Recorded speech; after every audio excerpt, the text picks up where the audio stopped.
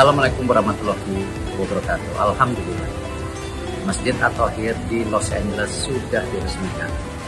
Terima kasih atas dukungannya dan supportnya. Insya Allah, masjid ini bisa bermanfaat untuk komunitas Muslim Indonesia atau lainnya yang ada di Los Angeles.